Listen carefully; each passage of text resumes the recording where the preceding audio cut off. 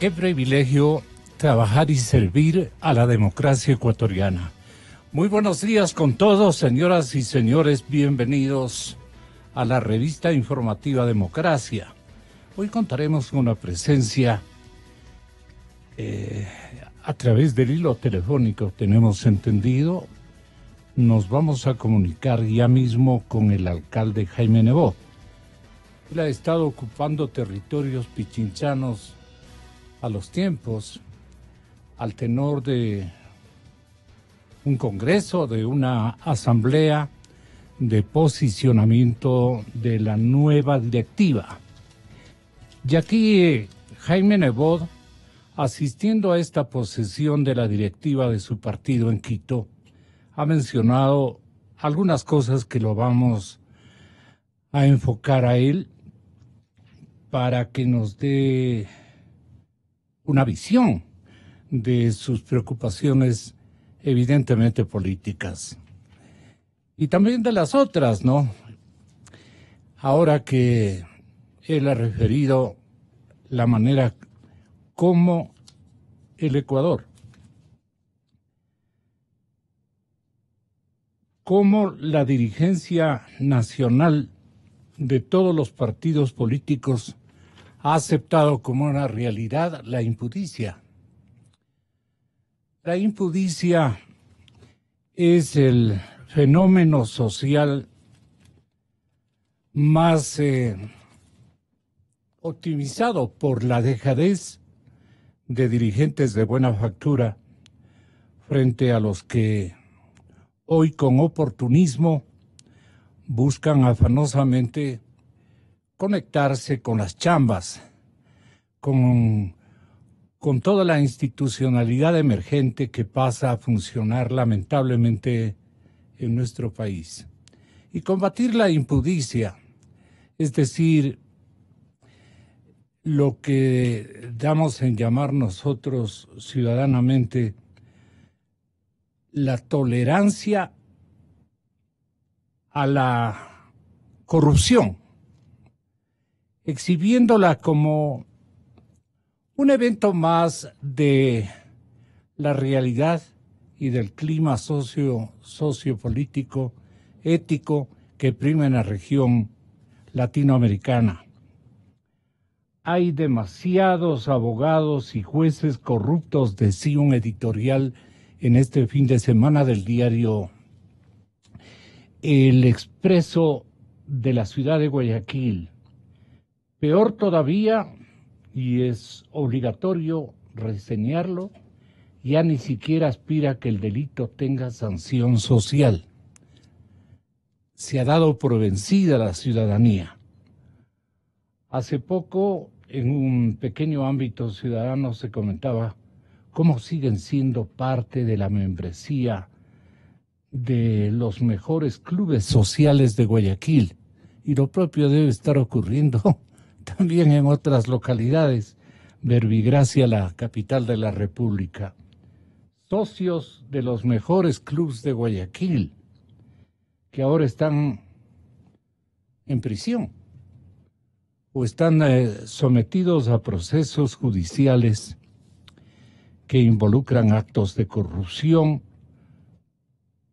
con fondos públicos o en lo que ahora ha pretendido calificar como negociados entre particulares para repartirse las coimas.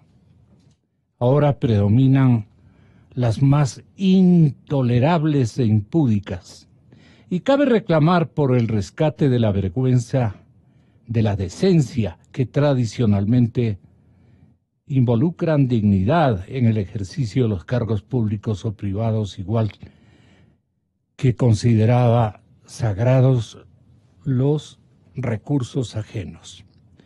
No puede seguirse tolerando el enriquecimiento ilícito y que los ciudadanos que lo alcanzan pasen a ser respetabilísimos miembros de la comunidad, hombres de éxito que exhiben dice expreso con impudicia su nuevo estamento económico, su nuevo estatus económico, mientras quienes cultivan una crisolada honradez se miran de parte de la sociedad como unos fracasados. ¿Qué opinión tiene, señor coronel, estas reflexiones del periódico guayaquileño, La Impudicia? Buenos días, muchas gracias. Lamentablemente lo que está pasando en, el Ecuador es eh, la pérdida de principios, de valores que tienen mucho que ver con la educación, con el tema de la familia, con el tema de la razón de ser eh, cívica de los funcionarios públicos, de los servidores públicos, de los propios ciudadanos.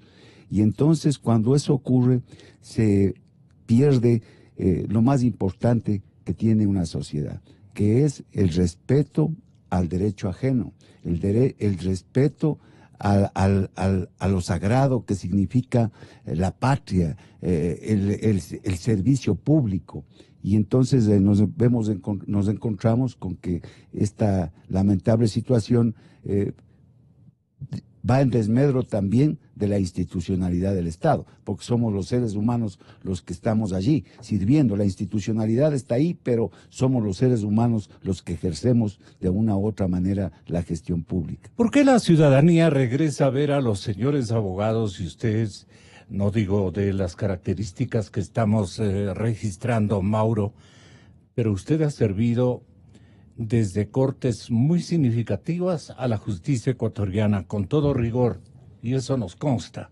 Mauro Terán en Cadena Democracia, empero la gente regresa a ver primerito a los abogados. ¿Por qué ha ocurrido eso?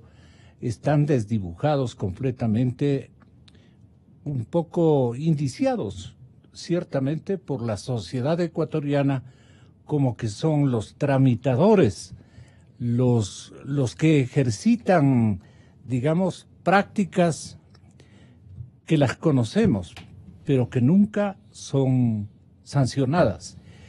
Y por eso la visión de la gente contra los abogados y contra los ex eh, dirigentes administrativos o regentes administrativos de la cosa pública siempre reciben tratos bastante despectivos.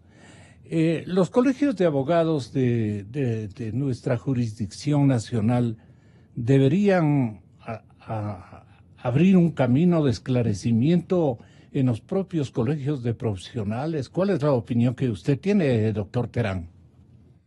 buenos días, Gonzalo. Buenos días a la audiencia. Buenos días, coronel Bueno, yo pienso que eh, cuando se habla de generalizaciones se pueden cometer graves errores. Y no creo que se pueda acusar genéricamente a los abogados de las desviaciones mm. que se dan en la tramitología de los procesos y en las actuaciones de los profesionales del derecho. Bueno, hay abogados y hay abogados. es. Eso, eso se da en todos los ámbitos de la profesión.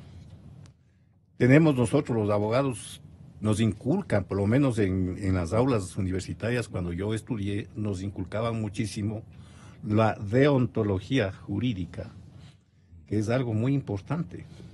los valores morales que tiene que proyectar el abogado en defensa del derecho. Y sobre todo, algo que es muy valioso y por lo que siempre se ha venido planteando eh, ante la comunidad, es la, la eh, eh, que hay que también en algún momento dado generar algún tipo de, de sanción o algún tipo de especificidad a lo que se llama el abuso del derecho. El abuso del derecho es un delito eh, que se, yo, diría anodino. Es decir, es eh, un, un, delito que se comete permanentemente, que es el abuso del derecho, es cuando usted utiliza el derecho para agredir, para causar daño o para beneficiarse ilícitamente del derecho.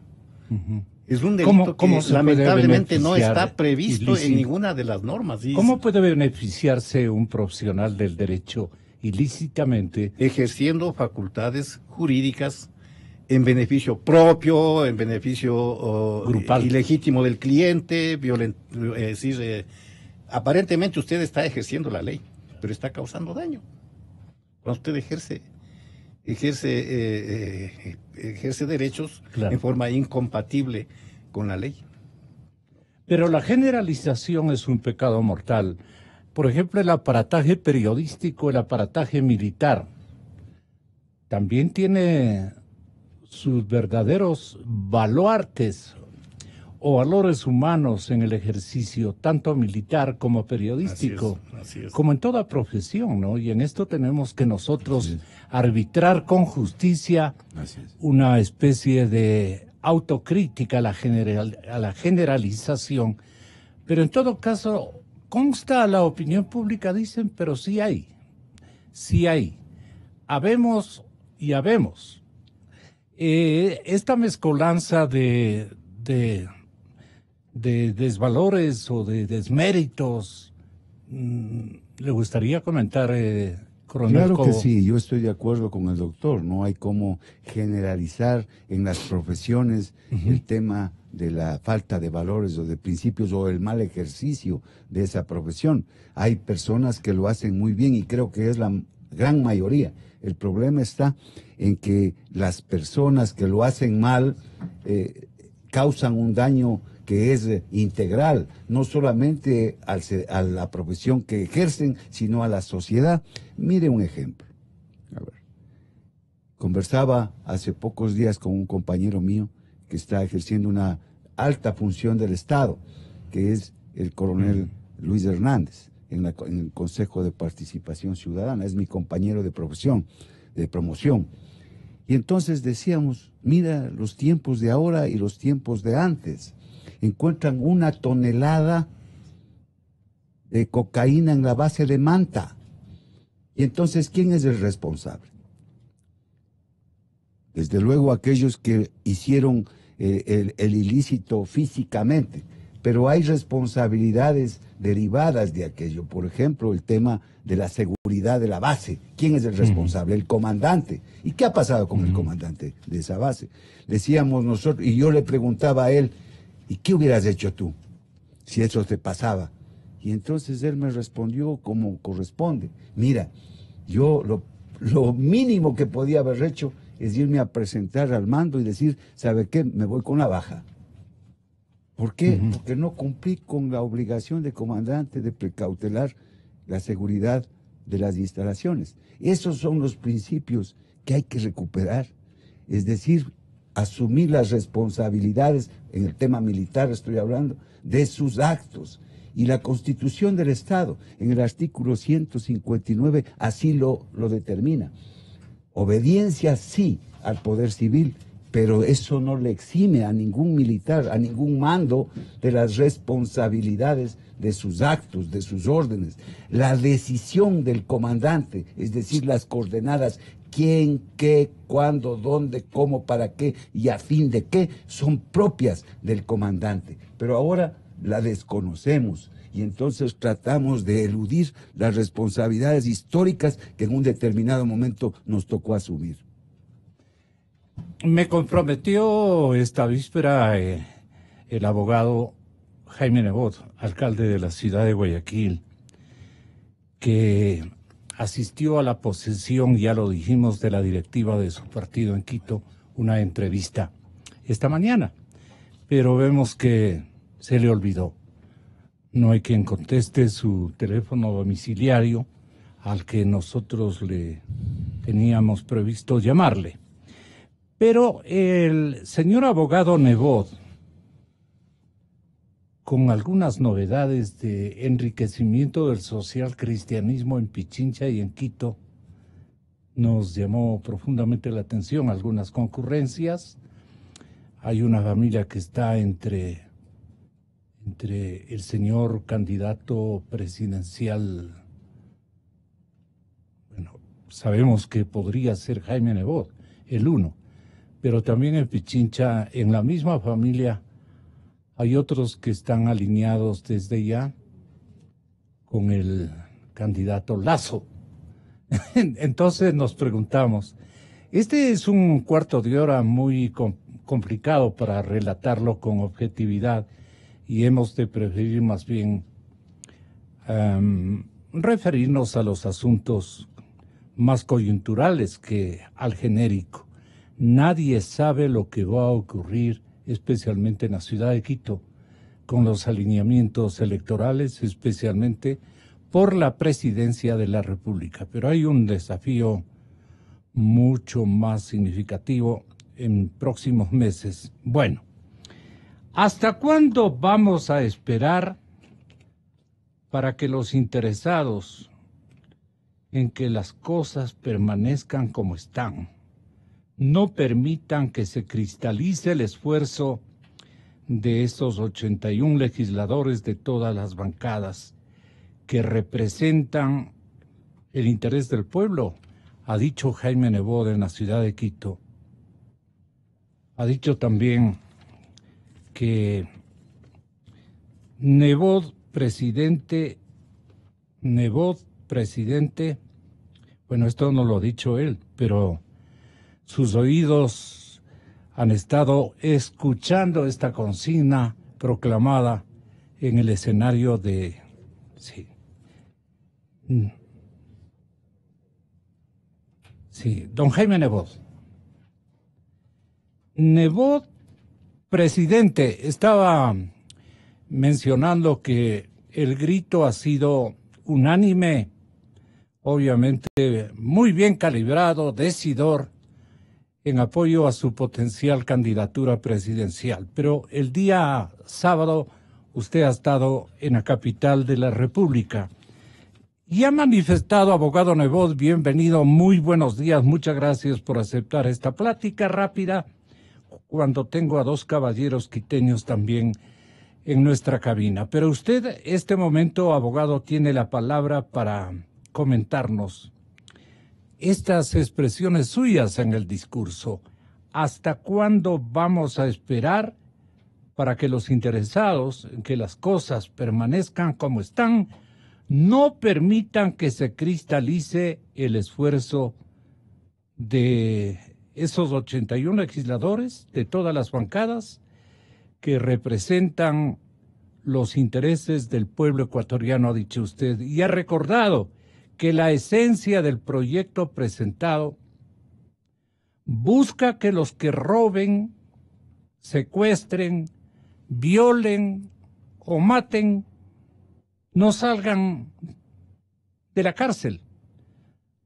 Con esos indignantes, con esa indignante velocidad con la que ahora la hacen menospreciando a la sociedad, menospreciando el trabajo de los políticos, porque hace ocho meses más o menos, recordemos a la ciudadanía, usted entregó un proyecto de ley que parece que la respetable presidenta de la Asamblea se, se ha comido, no, no aparece para, para nada. Y era una reforma muy contundente a la actual ley. ¿A qué atribuye, abogado Nebot, bienvenido, muy buenos días? Buenos días, Gonzalo, a quienes hacen democracia, están en el panel, a quienes la escuchan a lo largo y ancho del país, especialmente en la ciudad de Quito. Eh, déjeme empezar por decirle que eh, a las expresiones eh, que usted eh, se refiere, yo contesté diciendo que no se le dé al acto del sábado un carácter electoral, porque realmente no lo tenía.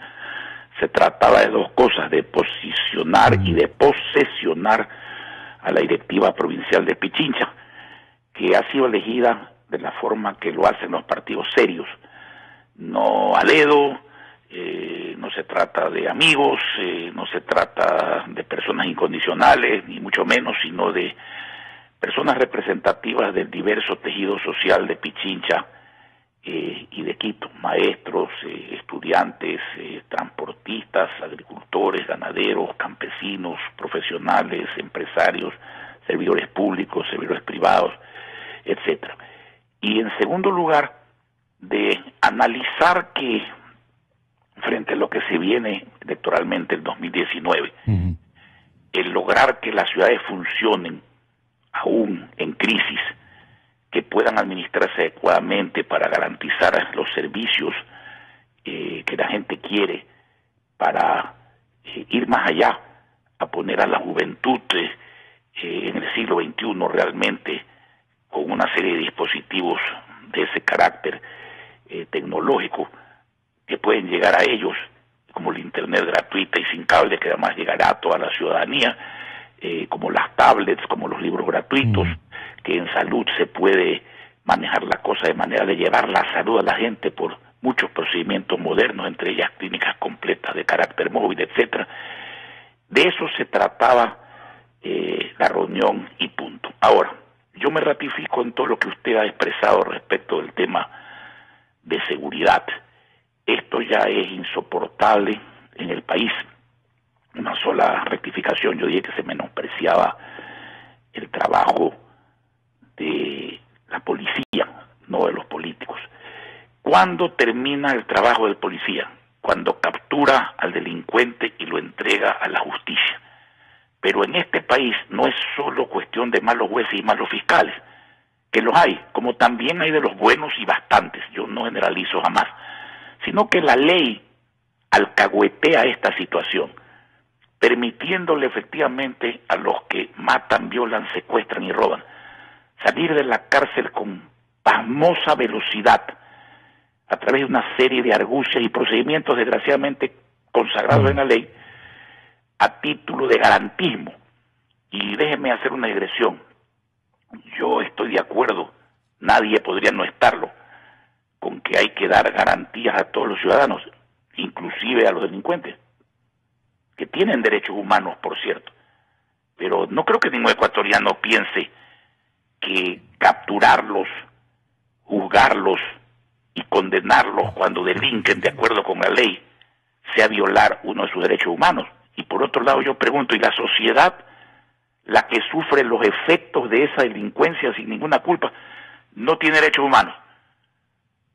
Porque así parece ser.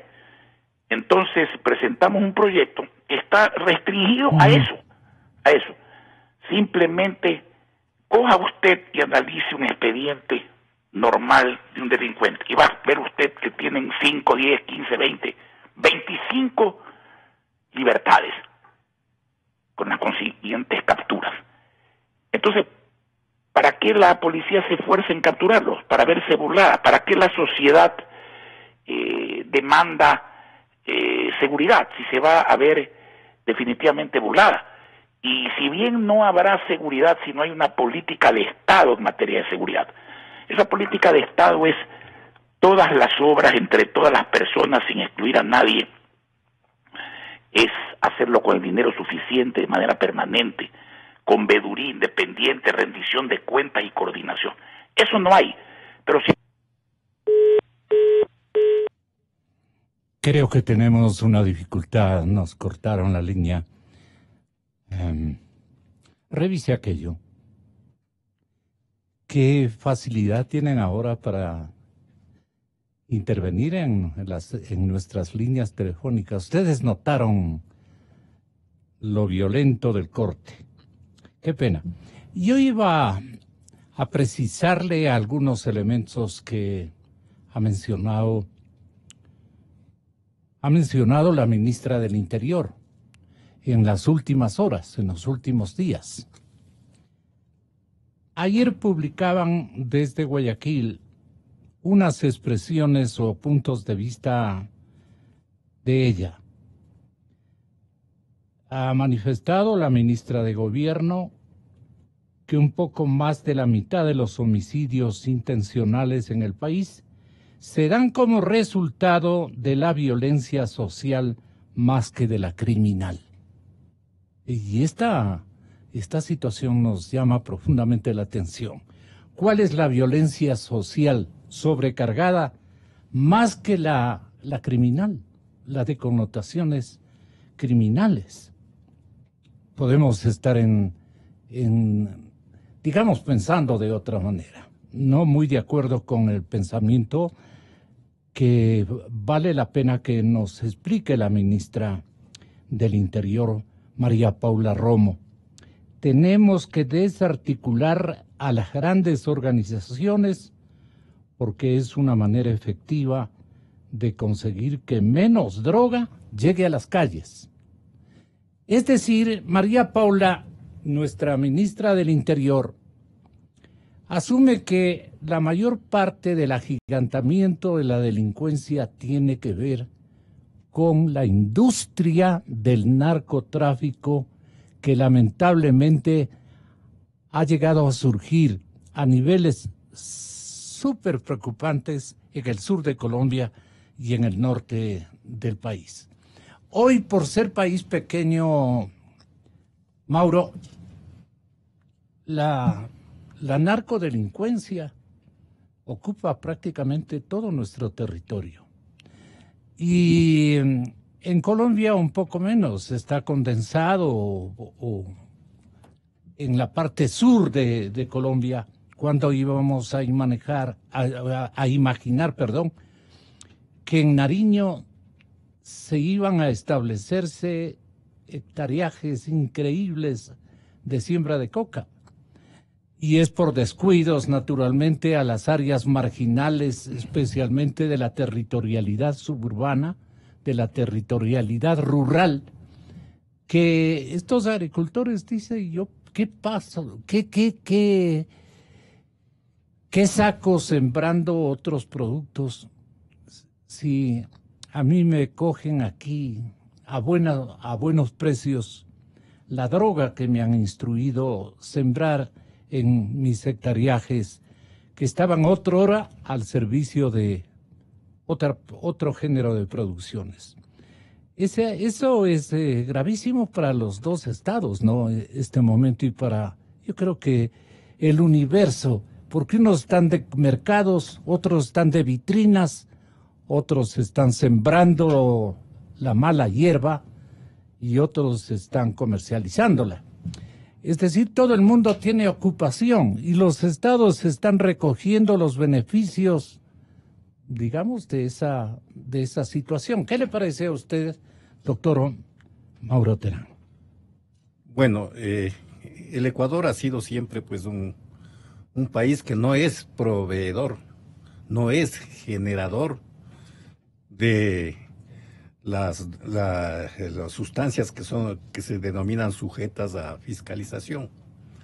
No es generador de drogas, no es generador de narcóticos, pero se ha convertido en un país de, tráfico, de trayecto de, del, de la, del producto que se genera sobre todo en Colombia. Colombia, eh, bueno, el problema de Colombia es grave cuando se detecta que más de 270 mil hectáreas,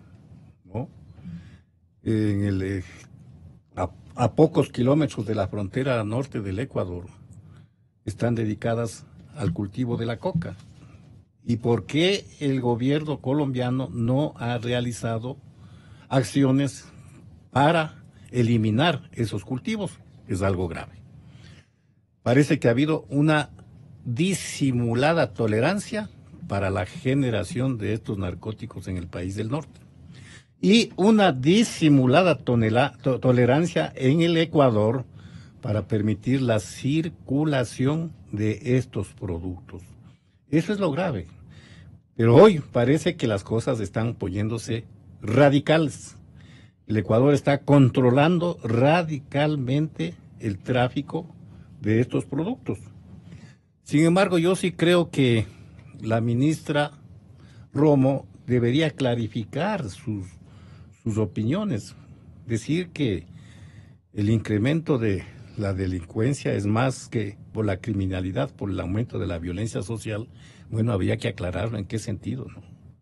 No se puede nomás decir una cosa de esa naturaleza, porque estaría desacreditando inclusive las proyecciones eh, del, del, propio gobierno. Entonces hay que siempre analizar con objetividad, con realismo, las graves consecuencias de la, del narcosistema, de la circulación de estos medios en nuestro, en nuestro país. La unidad policial contra la corrupción, coronel Cobo, va a aportar con investigaciones, ha dicho la ministra del Interior. Es decir, el estamento investigativo, este momento tiene que ser el más empeñoso, pero una vez que logran conocer, ahí vienen las garantías, ahí vienen otro género de consideraciones en contra del sacrificio militar y sacrificio policial. Esto es lo que ha venido ocurriendo en los últimos episodios que nos ha correspondido administrar con nuestra imaginación, coronel. Yo estoy de acuerdo con lo que manifestó el señor Jaime Nebot respecto a la ausencia de la política de seguridad en el Ecuador. Y eso se manifiesta en la hecatombe que vive en el ámbito jurídico el tema de seguridad. Hay una confusión y una falta de conocimiento en la elaboración de las normativas de seguridad, que este momento es un galimatías. Existe una comisión, por ejemplo, de seguridad fronteriza.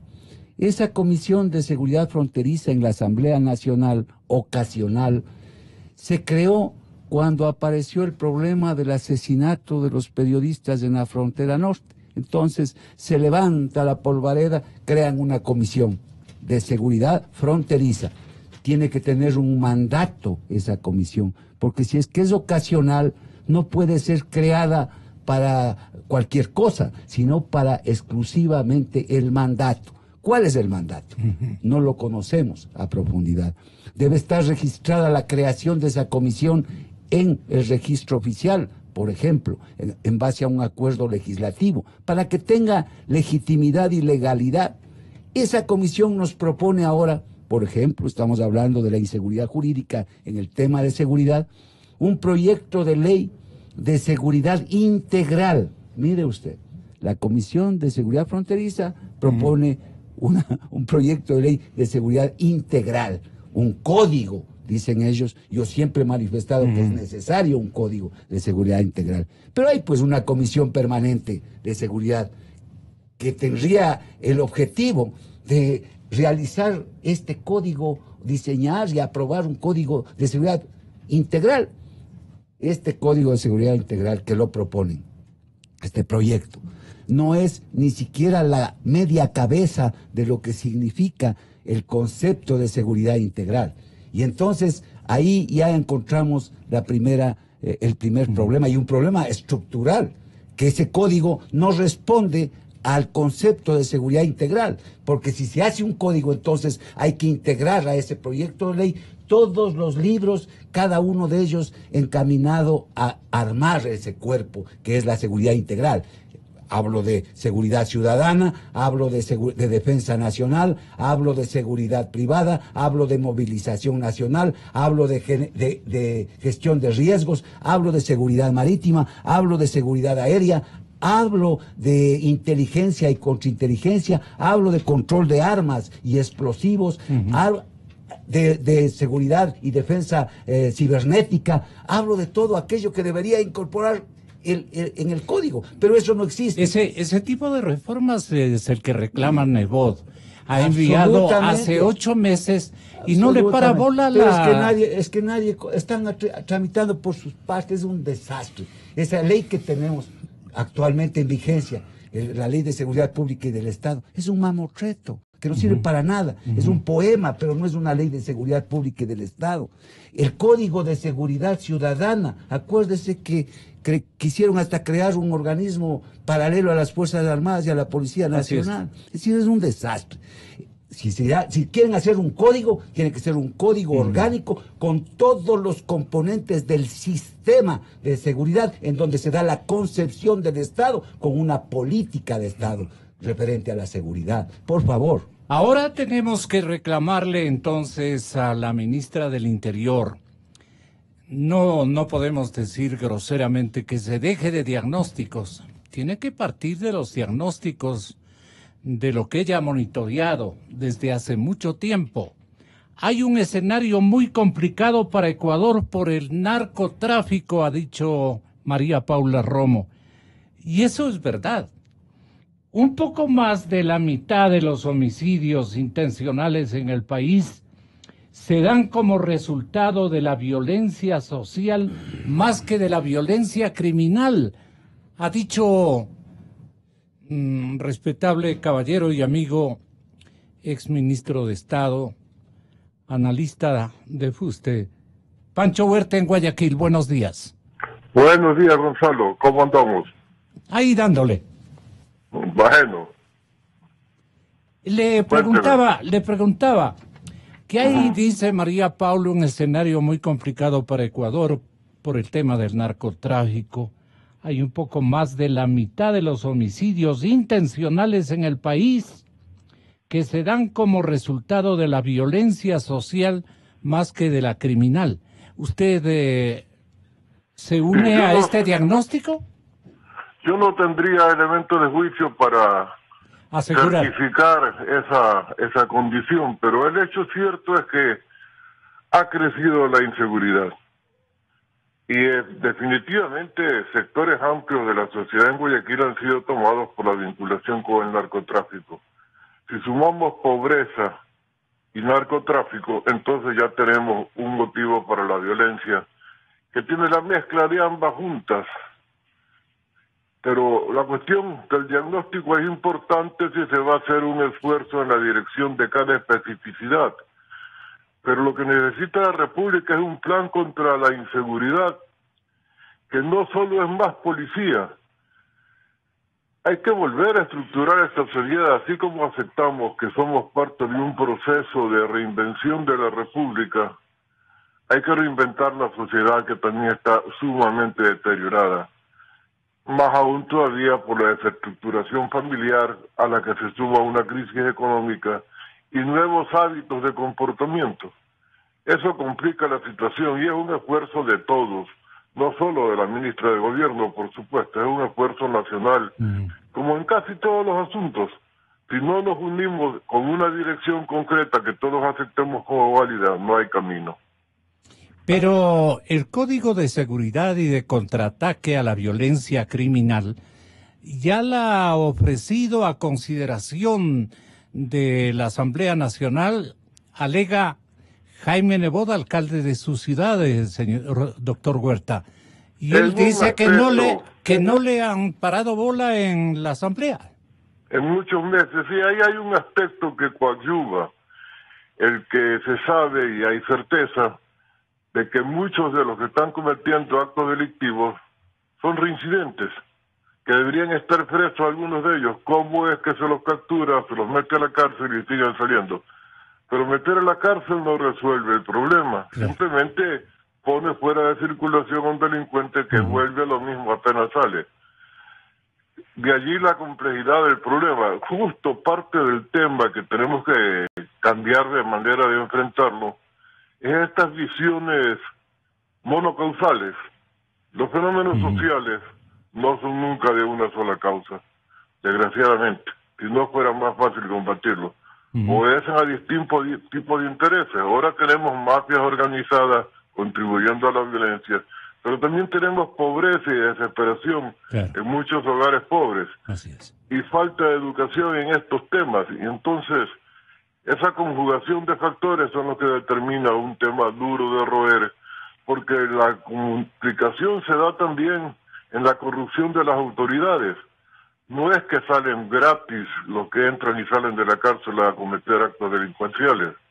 Es que hay otra estructura podrida en la policía, en el Poder Judicial, que ya conocemos que también existe. El enfrentamiento tiene que ser múltiple para poder tener algún resultado posible a corto plazo. Ayer su periódico Expreso que da albergue a la mayor parte de las opiniones de Francisco Huerta, no obstante que todos los medios de comunicación practicamos esa, esa virtud pluralista y buscamos siempre su concurso. Pero ayer Expreso hablaba de la impudicia como fenómeno también muy complicado para la sociedad ecuatoriana. ¿Usted qué opina, doctor Huerta?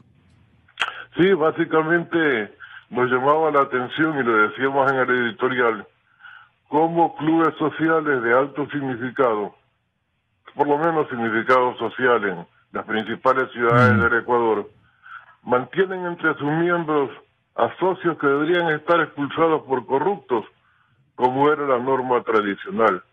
Si un socio del club delinquía, se lo expulsaba sigilosamente, sin mayor escándalo, pero se lo expulsaba. Ahora no conocemos de ningún caso en que eso haya ocurrido y hay socios del club relevantes presos y sigue siendo socio del club.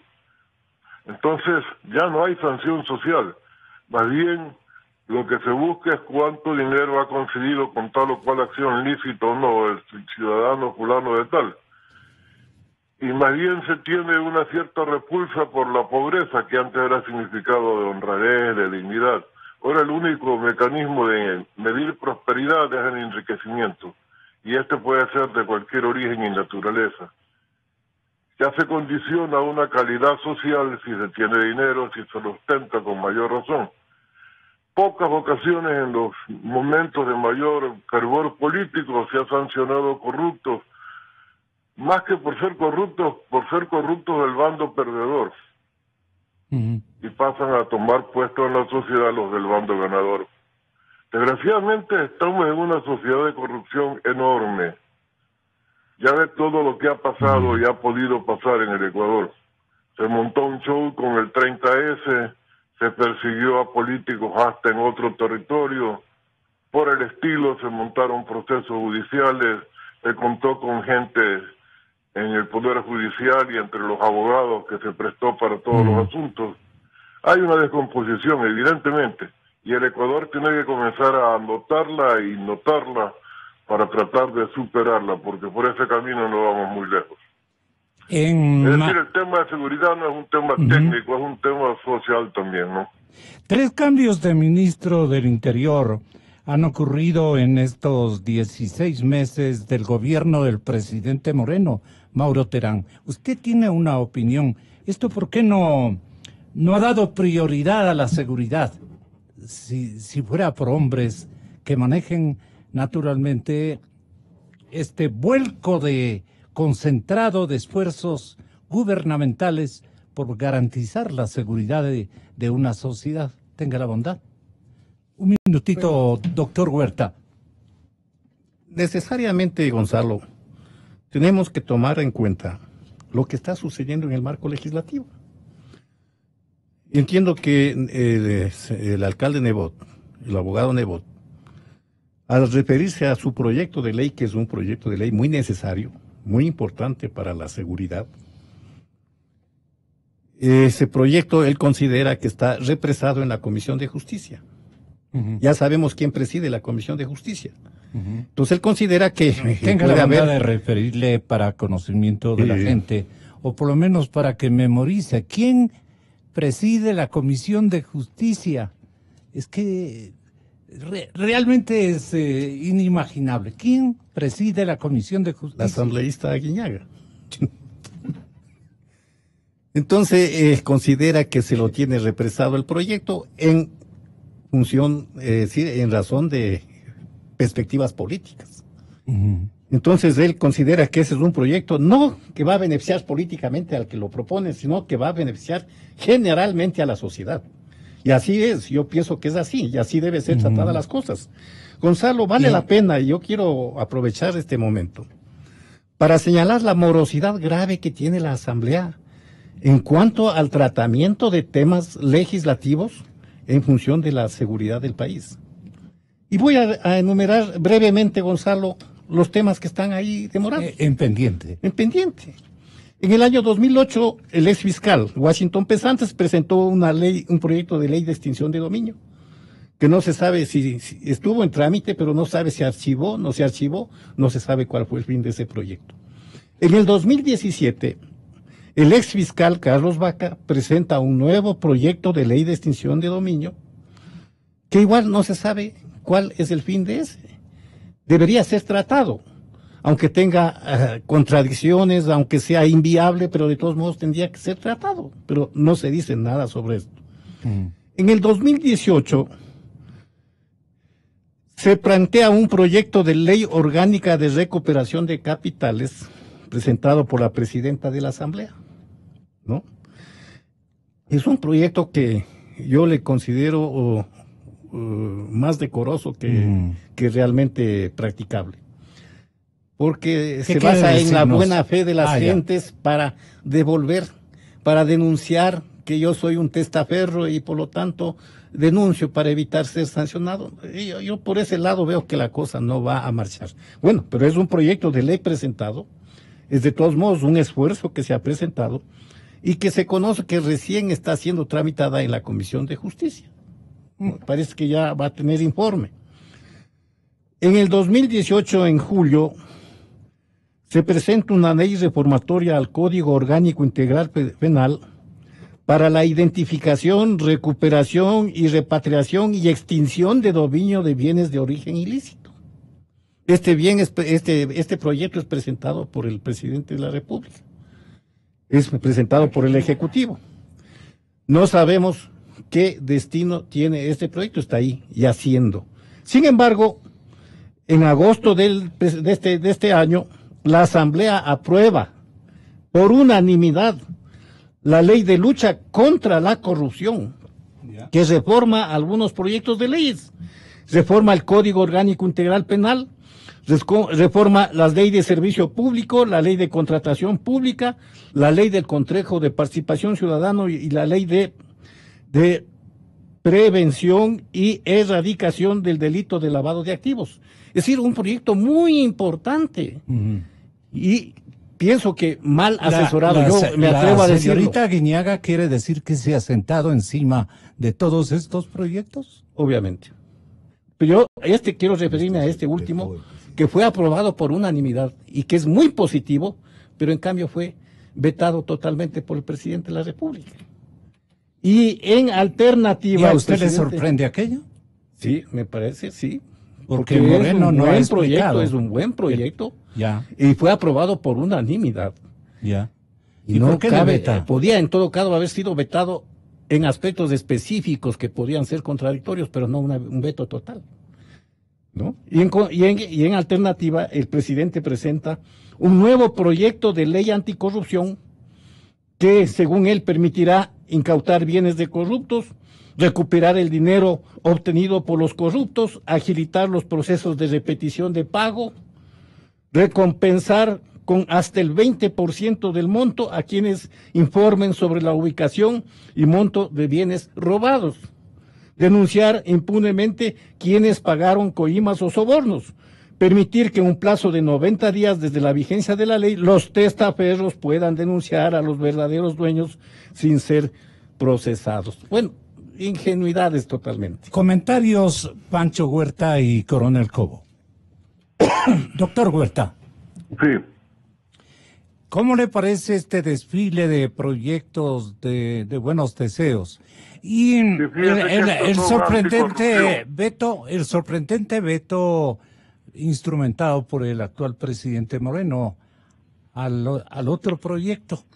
Y era cuestión de que él quería, digamos, ser el autor, digamos, de, de esta etapa de, de, reestructuración jurídica por el lado de ataque a la corrupción, ataque a todo el, el, el contexto del narcotráfico, a todo el al escenario delincuencial de nuestro país. Era una aspiración justa de él Allí se van juntando corrupción, narcotráfico, peculado, toda la serie de delitos que conocemos. Pero hay una cosa que tener como antecedente que vale la pena no dejar de considerar y que parece un tanto especulativa mm. y sin ningún sustento. Pero la experiencia de Venezuela nos establece como parte de las políticas del llamado del socialismo del siglo XXI una alianza tácita o expresa con lo delincuencial para tenerlo no bajo control, sino como aliado. Mm. Trátese de narcotráfico o delincuencia común. La gente que asalta a otros hogares en Venezuela son delincuentes constituidos bajo la bandera del partido de gobierno. A nombre de que están haciendo acciones políticas, hacen acciones delincuenciales. Y esa mezcla involucra jueces porque garantiza impunidad. Entonces es una telaraña bien difícil de desmontar con solo una ley. Yo creo que lo primero que hay que hacer es tomar conciencia de cómo se vinculó el hecho de gobernar con el ejercicio de la delincuencia en sus múltiples manifestaciones. Asalto a los dineros públicos, narcotráfico, lo que se trate. Pero todo con convivencia oficial. Por eso es que las leyes son de una naturaleza y no de otra. Por eso tenemos tabla de drogas. Por eso tenemos ausencia de nueva legislación para un combate en serio. Por eso la ley de Nebog no pasa Estamos luchando contra un fenómeno complejo que tiene actores múltiples en múltiples estamentos de la República. ¿De un solo partido? Desgraciadamente no, porque hay delincuencia organizada de partidos vinculados a esta tendencia que llamaron mal socialismo del siglo XXI, pero eso está fragmentado también en múltiples sectores. Pero si usted encuentra corrupción, no la encuentra solo en el partido de gobierno en el ejercicio anterior. Por ahí pasan de agache por las denuncias que se hacen contra el gobierno anterior algunas administraciones locales que también son corruptas. Desgraciadamente la corrupción es un fenómeno institucionalizado en varios niveles de la República. Por eso es que hay que combatirla con fuerza, pero en todas sus múltiples manifestaciones. Y no solo persiguiéndola como la plata que se roban los funcionarios o el narcotráfico con que se vinculan o la trata de personas o hasta la trata de órganos y la venta de órganos.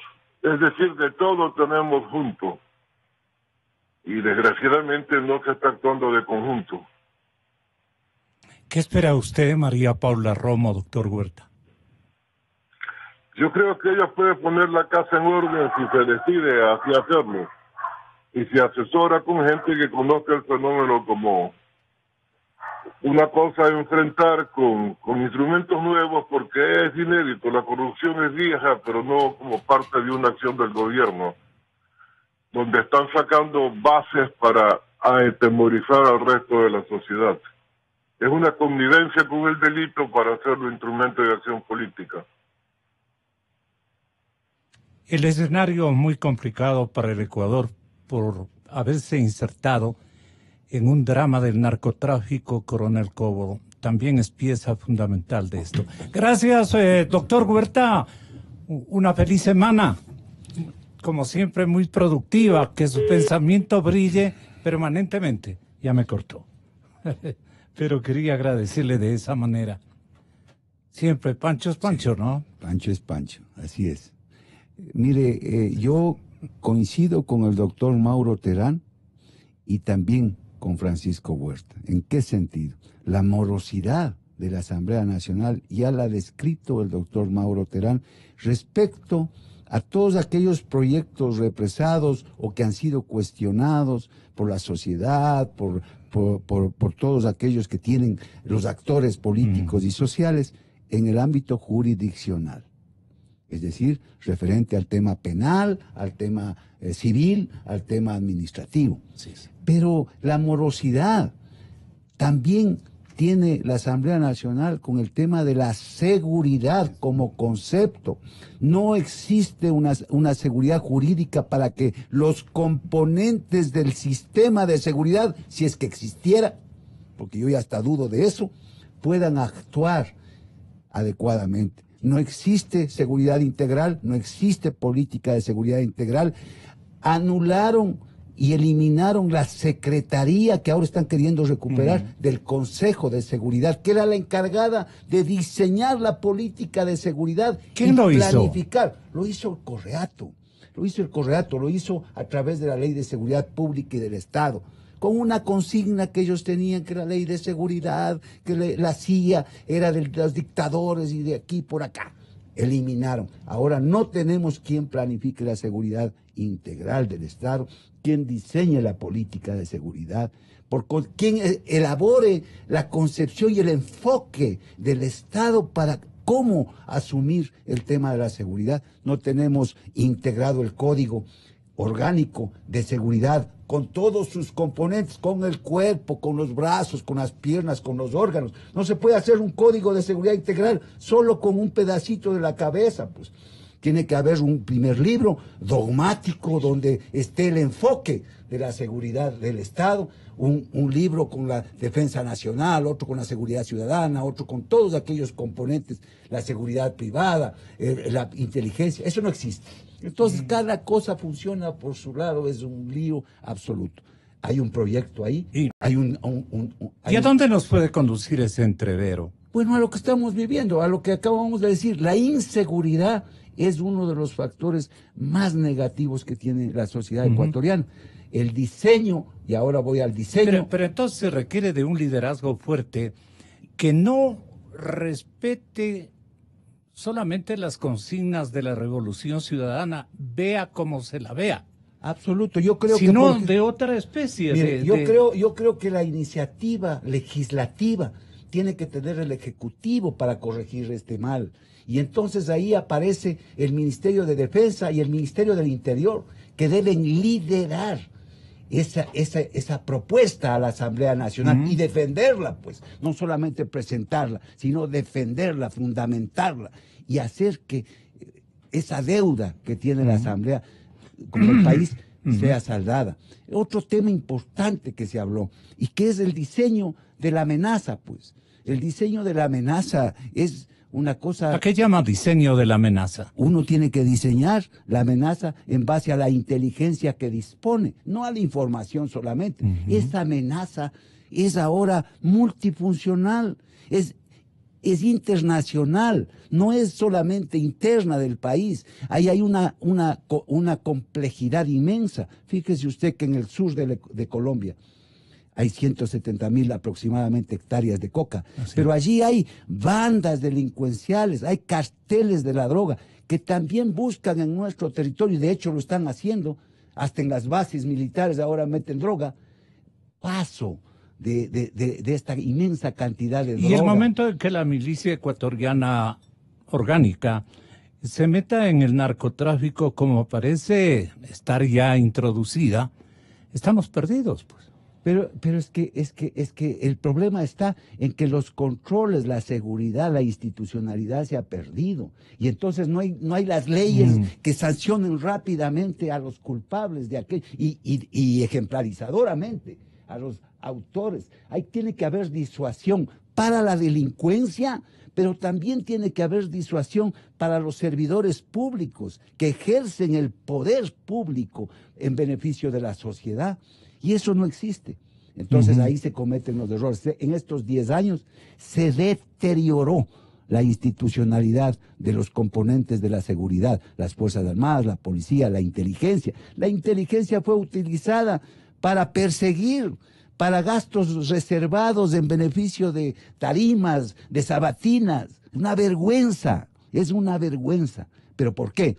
Porque hubo seguridad, inseguridad jurídica y además se utilizó el poder de una manera abusiva, autoritaria. Y ahí están las consecuencias. Doctor Terán, el doctor Julio César Trujillo visitó estos estudios en esta semana que transcurrió y le dijimos, doctor Trujillo, le pedimos muy solemnemente que tenga la bondad de convocar a una consulta a todo el país para blindar sus luchas, para blindar sus reformas, para, para blindar sus resoluciones, la del Consejo de Participación Ciudadana, que dirán no son todas aceptables, todas de la...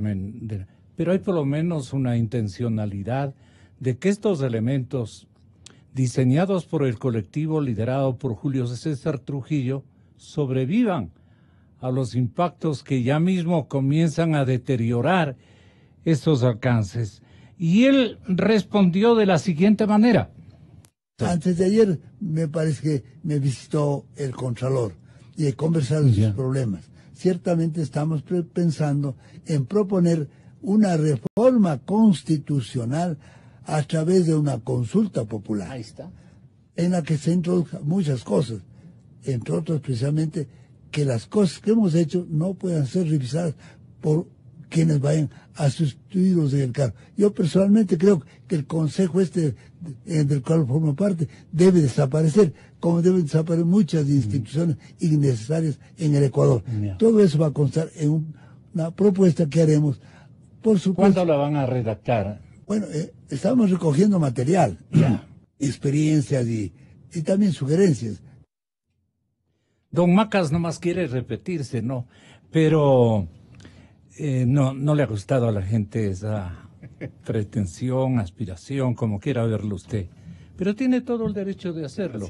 No obstante, si se han puesto de acuerdo que ellos no deben participar en darle una esencia de continuidad a este gesto voluntarioso, patriótico que han exhibido, no está bien, Luis, que usted insista en... En fin, cada, cada persona actúa por, por sí solo. Estamos, eh, estamos pensando que hay derecho al blindaje de lo hecho por Trujillo. Gonzalo, eh, me parece muy interesante lo que plantea el doctor Julio César Trujillo.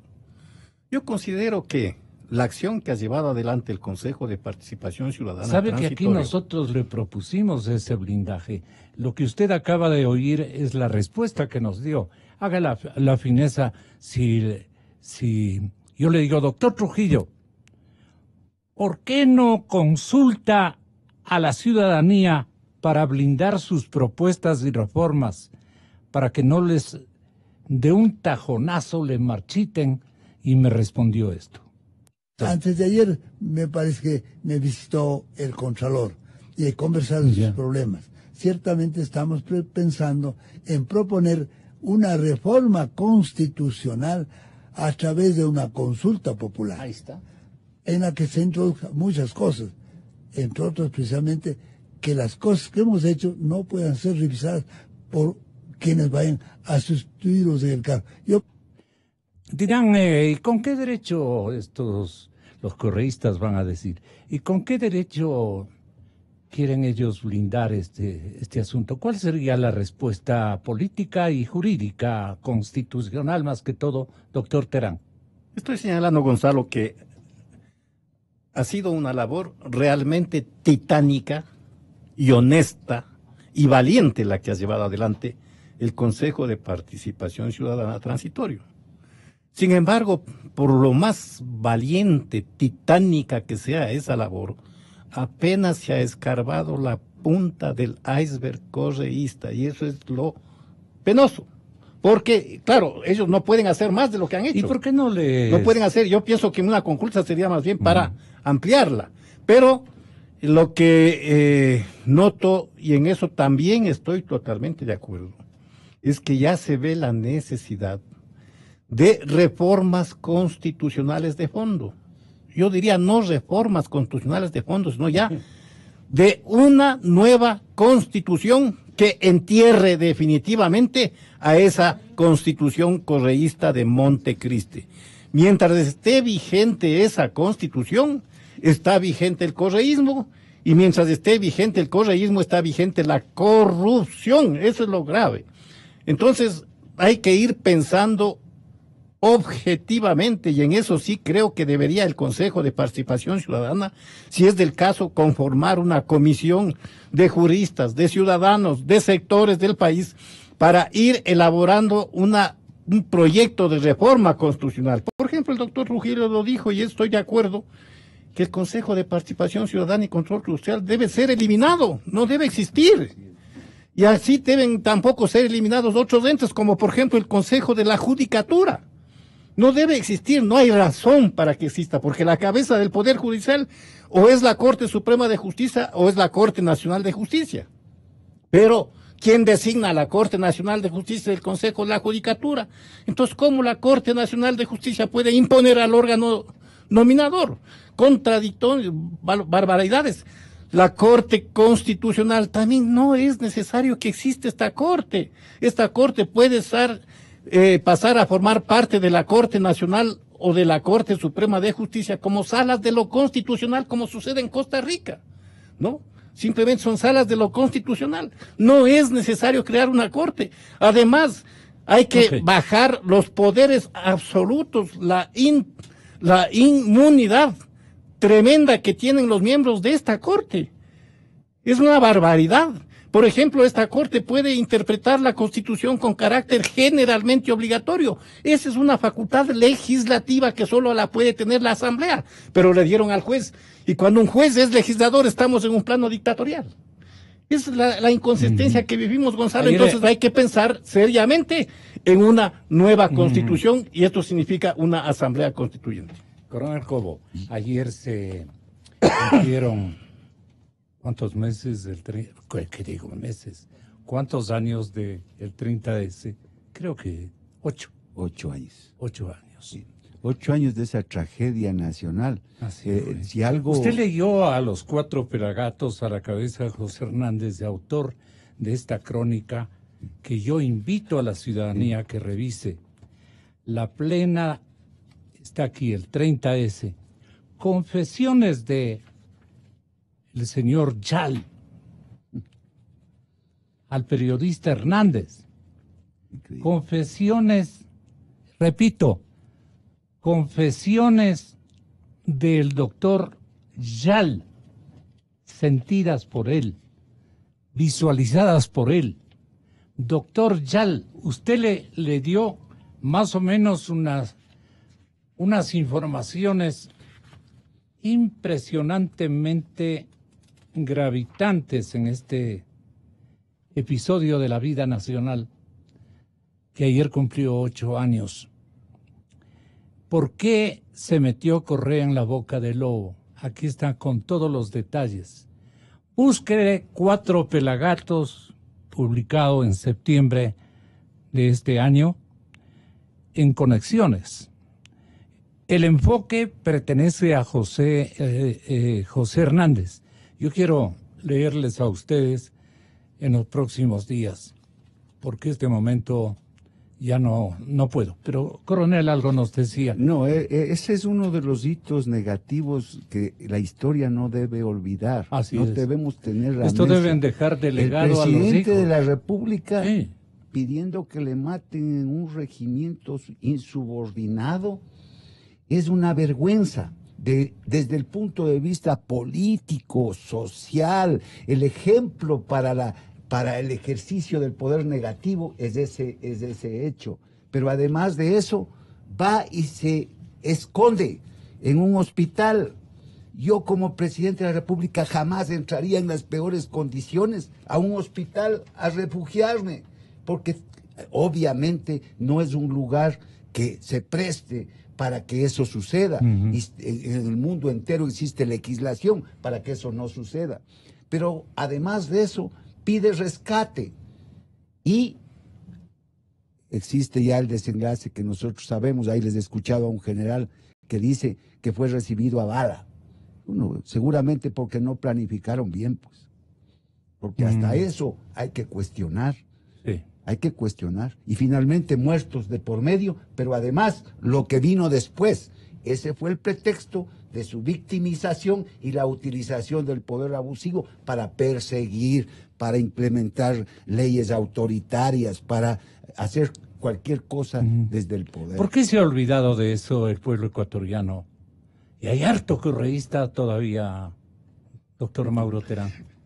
Lo que señala el coronel Cobo que es una vergüenza el que el presidente de la República pida a sus súbditos que lo maten, que lo disparen.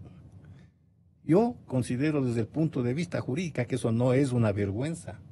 Eso es una grave presunción de un delito que se cometió que se llama auto intento de magnicidio, que no ha sido investigado por los fiscales, obviamente porque eran fiscales que estaban alineados. Pero ahora que existe una fiscalía independiente, yo sí creo que esta presunción de un autointento de magnicidio sí debería ser investigada. Buscando la verdad. Gonzalo Rosero. Credibilidad incuestionable.